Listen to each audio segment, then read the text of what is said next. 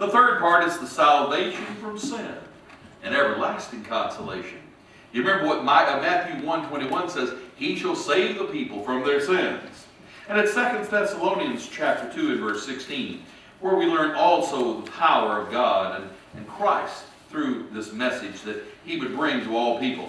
Here we read, Now our Lord Jesus Christ himself, and even God our Father, notice how they're put together, as they should be, which hath loved us, hath given us everlasting consolation, and good hope through grace. Comfort your hearts, and establish you in every good word and work. So there's no reason that we can't have it just like Simeon had it. There's no reason we can't have it like Anna had it. It's no reason we can't have it like Israel had it. And the same consolation the shepherds had, and the Magi had, and even those who accepted him for what he taught. Note Simeon's main thoughts. All of God's salvation is for all of God's people. In verse 31, it says, Who has prepared for the face of all people. Now, some of you may have thought that the Old Testament wasn't concerned about Gentiles, but it was. If you read Psalm 50, it says, Praise the Lord, everything that hath breath, praise the Lord. Wouldn't that include the Gentiles? It surely would. And God has always wanted all people to know about the one God. The problem is, when the Jewish nation was formed, almost everyone believed in false gods. A God here, a God there, this God, that God. Gods everywhere, but all false gods. And Paul says in Corinthians, there are no such gods. There's only one God, one Jehovah.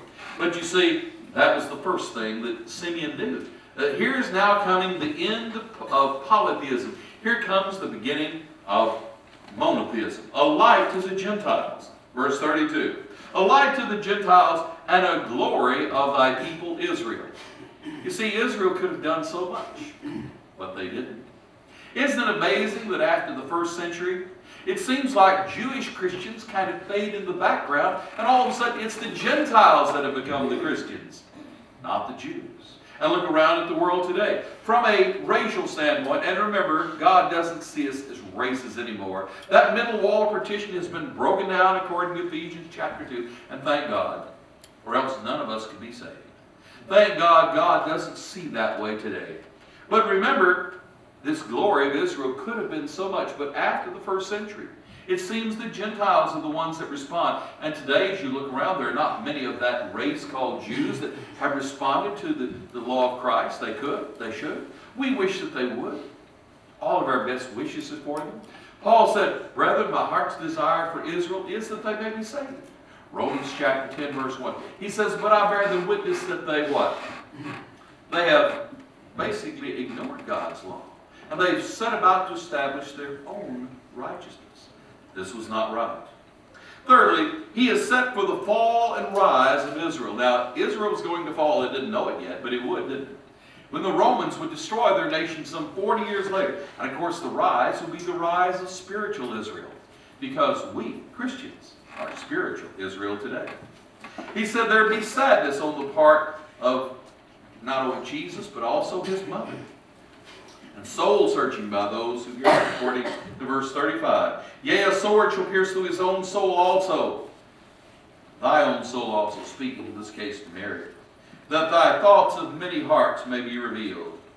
Now think about it. Anna added her blessings. She was this elderly woman, the oldest woman mentioned in the New Testament. And it says, She coming in that instant gave thanks likewise to the Lord, and spake to him of all that looked for the redemption of Israel. What's redemption? Redemption is buying something back. If you take your watch and take it to the pawn shop, you have a, a diamond encrusted Rolex watch and you give it to the pawn shop. And he looks at it and says, well, I'll give you so much money, but to get it back, you've got to pay interest. And if you don't pay it on time, I keep the watch. We all know how that works. We take the ticket that's given to us, and, and then we come back at the appointed time and we pay the interest, and we get our precious possession back, although we've had to pay a price for it, haven't we? Didn't Jesus have to pay an awful price for our redemption? He shed his blood on the cross. You see, coming into this world was, was bad enough in some ways. The Bible says in Philippians chapter 2 that he did not consider it a thing uh, to be grasped, to empty himself and come down to earth and be one of us. Anna had it right.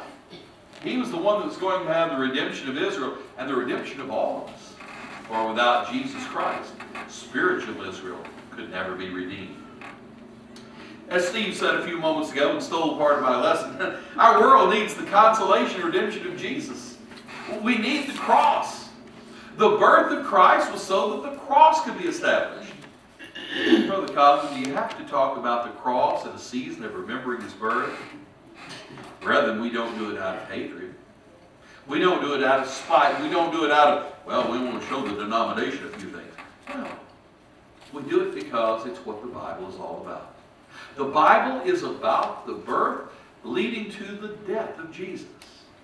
You see, Christ's birth was an indication that he was going to have to die, just as we have to be born again.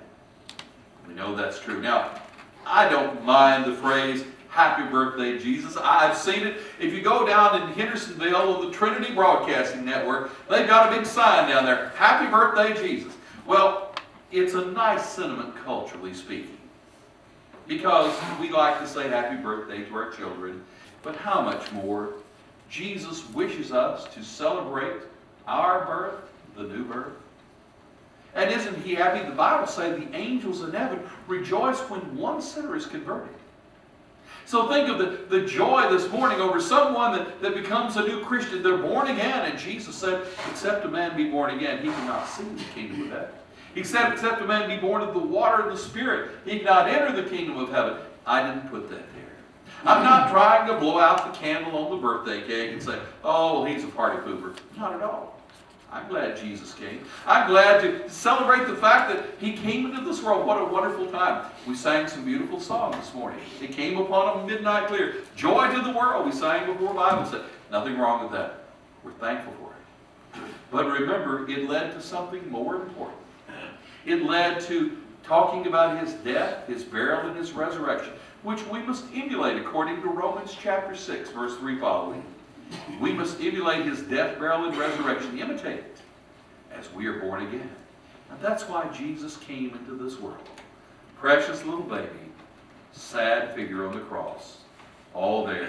Now you know that gift of eternal life can have your name on it today. Some of you right now are wrapping your presents, putting them under the tree, and you're writing the name of your relative, aren't you? But you know, your name needs to go on the best name tag of all, and that's the one called the gift of eternal life. Is your name written there? The Bible says those that are in the Lamb's book of life will be those that will be saved. When the books are open, one of them will be that book that has your name in it. Is it there now? Have you been given this gift? The gift that you can give to yourself through Jesus Christ? Yes, He gave the gift originally through His grace but you have to respond to it. A million dollar check does no good for a person who doesn't take it to the bank and cash it. The consolation of Israel can be yours today as you come to Him, as you're born again. I'm glad Jesus came to this world. I'm glad Simeon and Anna praised Him and, and talked about how wonderful He was. I'm glad that child was in that manger some 2,000 years ago. Thank God for it. But even more, Thank God that He showed us that, that we too must be born again. Have you come to Jesus yet? Are you a New Testament Christian? If not, won't you do so right now while we sing and while we sing? Why do you waiting, waiting?